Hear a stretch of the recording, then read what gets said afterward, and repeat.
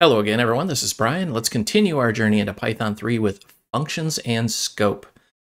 This is a theory-heavy video, but we're going to try and make it very simple. So we're talking about lexical scoping, sometimes known as static scoping, which is a convention many programming languages use that sets the scope or the range of functionality of a variable so that it is only called from within the block of code from which it was defined. However, scopes can be nested inside of each other. So you ever have like a box and a box and a box and a box? That's kind of what we're talking about. And that's why this really will hurt your brain if you're not paying attention. So let's dive in and take a look.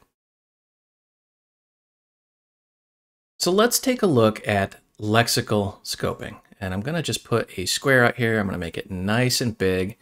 And let's go ahead and give it a color. Let's say this is going to be some sort of green. Doesn't really matter what it is. So that would be a block of code. And actually, you've been working in this this whole time. This has been called the global scope. Everything we've done so far has been in one giant scope called the global scope. There's other names for it as well, but that's basically what we're talking about. Now we can actually take another one. Let's go ahead and bring this all the way to the front and let's set this as a different color. Let's say blue. And this is a different scope. Think of this like a function. Doesn't necessarily have to be a function. It could be like a while statement or an if statement, something like that. So what we're getting at here is you have this big overarching global scope, but then you have these subscopes. Now to make things a little bit more complex, let's say we have this scope here that's inside the global scope. Let's call this a function, for example. We're going to go ahead and make another one. And let's give this a different color. This is what we're talking about. So you can have a scope with a scope in a scope, like a box and a box and a box. And it gets very, very confusing. Now, this guy here, let's just actually move all of this down here and make it graphically easier to understand you have your global scope, you have your function scope, and then you have another little, like a statement in here. You can define something in the global and use it all the way down through here, even down into this statement. You cannot, however, do the reverse. You can't define something in the statement and use it backwards up in the global scope. So this is why it gets very, very confusing. And I think graphically, this is probably one of the better ways of really defining this. Just understand that you can have a scope with a scope inside of it and another scope inside of it. You can define something, and as you get more granular, you can use whatever you defined. However, you can't define something at the very granular level and use it higher up. All this talk about scope is, well, confusing. So let's just dive in and look. First thing we're going to talk about is the global scope. This is probably the easiest concept to understand because we've been using it this entire time. That's right. So if I say name and then just whatever your name is, we have now created a variable on the global scope, meaning anything in this application can now use this. This is extremely cool and it's extremely easy. So let's demonstrate this global scope functions can access the global scope. So let's go ahead and define a function. Let's just call this test1. Very descriptive name, I know. And we are going to use this variable, which we created in the global scope, in this function. And remember, this function has its own scope that we're now defining. Say print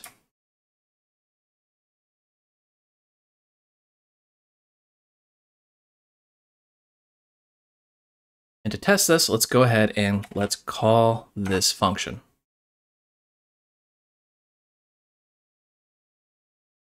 My name is, and then the name from the global scope. Makes it super, super convenient. However, what we're going to show in this video is that this convenience comes with a cost of complexity, and there's some issues you can definitely run into. Let's do the reverse and show some problems we can run into. So for example, the global scope cannot access a function scope. Seems absurd. We define the function in the global scope. We should be able to access it, but it doesn't work that way. We're going to say x equals 10. Let's go ahead and define a function. Let's call this test2, very super descriptive name. And we're going to say x equals 50. Now you may be going, wait a minute, there's two x's, so it's the same x, but it's really not. Let's go ahead and take a look here. And we're going to say function scope, and then we're just going to print out that value of x. Go ahead and go down here. Let's call this function, just so it's going to print that out. And then we're going to say global scope. All right, so pop quiz, x equals 10, x equals 50. What is this going to print out? It's going to say function scope x, global scope x. Let's take a look. So if you thought both of these would be 50, you are wrong. This is what's going on here. We have x in the global scope. We are now creating a new variable in the function scope and assigning it a value of 50. These are two different variables, so it's treating them differently, even though they have the same name. Oh, this is confusing, but it exists for a reason. It's called name collision. If you have a variable with the same name, you don't want to overwrite that let's say this was some magic number like a password or something, and then we went and kind of goofed it up in a function somewhere. We don't want to break the functionality of the application. So this actually exists to protect us from ourselves. Okay, let's dive deeper and deeper still. So we're going to talk about global scope, function scope, and statement scope all in one. And this is going to really, really tax your brain here. So we're going to make a global variable. We'll say x equals 15. And let's go ahead and just put a print statement, print global x, just so we can see what's going on here. There it is, 15. Now we're going to define a function. So I'm going to say def s3, ever descriptive name, I know. And I'm going to make x 0. What have we done here? Well, we've created two different variables. We've talked about that a little bit here. And we're saying this variable is 15 and this variable is 0. So I'm going to, through the magic copy and paste, I have some notes off the screen here just to save a smidge of time. We're going to print these out. Let's go ahead and call this just so we can see what's going on. And sure enough, global is 15, function is 0. Things are working the way we'd expect them to, even though it's a little bit confusing. This exists to keep us from hurting ourselves because you have a concept called name collision. If this were a password or something crazy like that, we wouldn't want to overwrite that and then screw something up somewhere else in the code. Okay, now let's take this a bit further. And we're going to say for i in range, and we're going to really make some people mad here because we're going to do some things we really should not be doing. We're going to say x plus equals 1.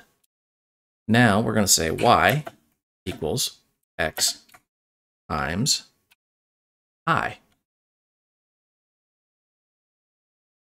So far, everything's good, but now this x. You notice how we're three layers down. Which x is this really? Well, this is the confusing bit. So this x is actually borrowing from our definition. It's going a bit higher. So think of any time you see the def keyword, we're actually putting some sort of wall or a shield here. Let's actually just draw a line. So it's like we're setting a boundary right there saying you will not pass if I've already named that.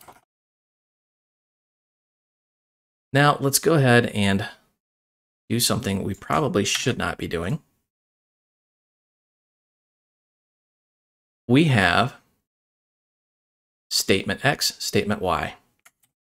This is perfectly fine. Let's go ahead and run this and see what this looks like. Sure enough, it's working as expected. We can see that statement Y is actually multiplying. Everything's working good. Now, let's do something very, very horrible. We're going to grab these and we're going to go backwards through the scope. VS Code adds these beautiful little lines to tell us where in the scope we are. You can actually see it's like a bubble here. So we're at the global, we're at the function, we're at the statement. Now we're dropping back to the function scope.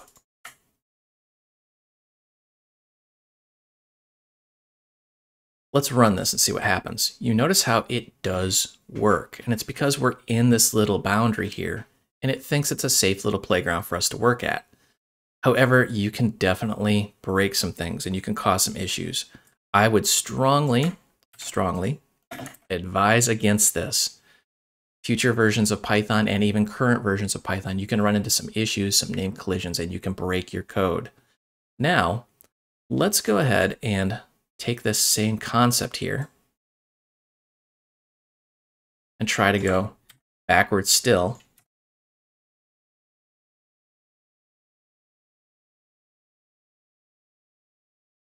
And let's go back up to the global scope.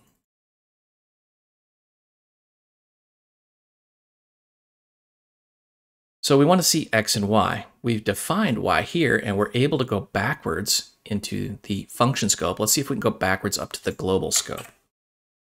And sure enough, we cannot. Name error, Y is not defined. Why are we getting this? What's going on here? This definition is a block of code. It's its own individual little scope. And I've got these arrows here. Global goes to function, function goes to statement. You should not go backwards.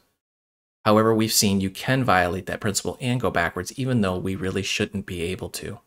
Or I should say you don't want to, because you can cause problems. Because if you take that logic and try to go backwards all the way up to the global, you're going to get a name error. Y simply does not exist out on the global namespace. You need to be a little bit careful when you're working with scope and really wrap your brain around this. That will cause problems time and time again. I see people constantly doing this going, well, I defined Y, why can't I use it? And then you have to explain scope to them. Let's run that again and everything runs beautifully because we've commented this code out. Now all this talk about scope and functions and all that can get a little bit confusing. So one thing you need to really understand is that functions do not share scope with each other. Let's go ahead and test this out. So I'm going to say def cats, better name, I like cats. So I'm going to make a variable called z, and I'm going to make this 1. Now, what you need to understand, I mean, really, really pound into your brain is this only exists in this function. Let's grab literally that function make another one, and let's call it dogs. Now, z is 3. What have we done here? You see two different functions with two different z's. These are individuals. They are not the same variable, and they cannot talk to each other. So, for example, if I do something like this,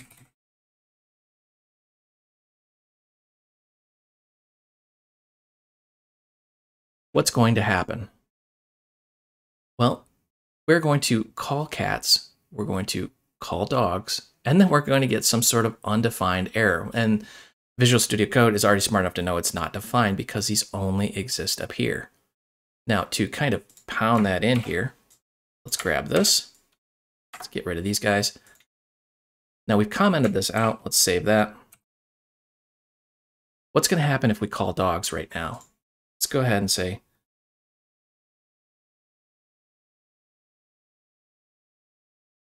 Notice how it's already going, uh-oh, you're going to have an undefined variable. And let's test that. So sure enough, print z, name z not defined. Remember, when you see not defined, it means it simply doesn't exist.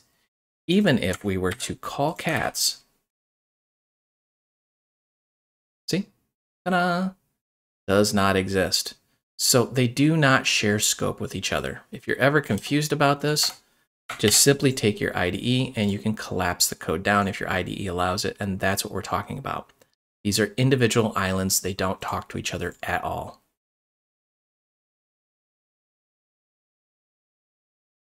Now to wrap this up, you may be asking yourself, if functions do not share scope, how do you share information between functions? Well, functions can return values, and we've talked about this a little bit here. So let's go ahead and generate some lucky numbers. I'm going to say define a function called numbers. And we want actually a parameter of steps. Let's go ahead and we're going to say L equal range. And then we want to go from 1 to 20 using the steps there we go. Go ahead and print these out. We're going to say for i in L. And we're going to go ahead and print i. And this is just so we can see on the screen what's going on. Now we're going to drop back down and we're going to say return. And we want to return that little list that we got from this range here. So what's going on under the hood? We're saying define this function who has a parameter of steps. We're going to say L is range 1 to 20 using steps, I to L. So we're just going to print those out, and then we're going to actually return all of this information we generated. Now, a real world program would have vastly more complex logic. But now we're going to use that function and get the information out of it. So we're going to make the lotto function. Everybody wants to win the lotto. I know I do. And we're going to say z equal, and we're going to call that numbers function with a step of 3. You may be going, now wait a minute. Numbers doesn't exist. We can't use it. If you're ever confused and your IDE allows it, collapse the code down. You can see numbers exists on the global scope. Therefore, we can call it. We're going down, not up. All right, so now that we have this, we can say for x in z. And let's go ahead and print out our lucky numbers.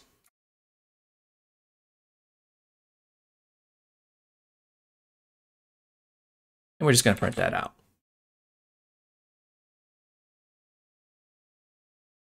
Now, let's go ahead and call our lotto function.